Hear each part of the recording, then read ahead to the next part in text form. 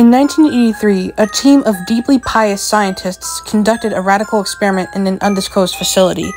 The scientists had theorized that a human without access to any senses or ways to perceive stimuli would be able to perceive the presence of God. They believed that the five senses clouded our awareness of eternity, and without them, a human could actually establish contact with God by thought. An elderly man who claimed to have nothing left to live for was the only test subject to volunteer. To purge him of all his senses, the scientists performed a complex operation which every sensory nerve connection to the brain was surgically severed.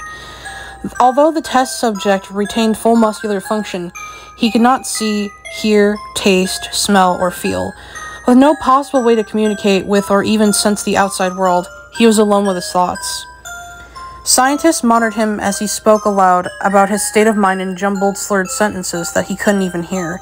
After four days, the man claimed to have been hearing hushed, unintelligible voices in his head. Assuming it was an onset of psychosis, the scientists paid little attention to the man's concerns.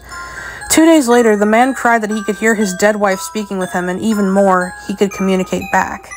The scientists were intrigued, but were not convinced until the subject started naming dead relatives of the scientists. He repeated personal information to the scientists that only their dead spouses and parents would have known. At this point, a sizable portion of scientists left the study. After a week of conversing with the deceased through his thoughts, the subject became distressed, saying the voices were overwhelming. In every waking moment, his consciousness was bombarded by hundreds of voices that refused to leave him alone.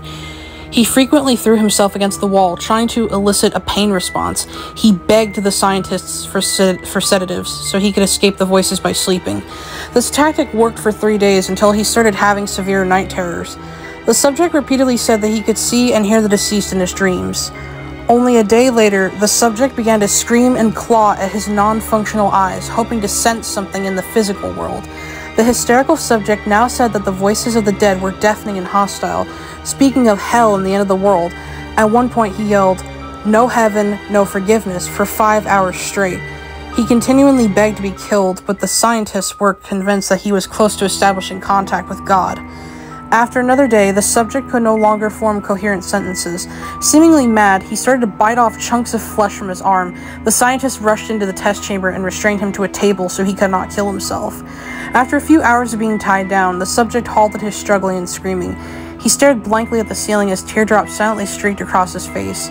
For two weeks, the subject had to be manually rehydrated due to the constant crying. Eventually, he turned his head and, despite his blindness, made focused eye contact with a scientist for the first time in the study.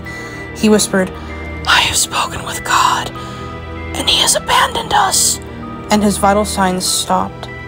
There was no apparent cause of death.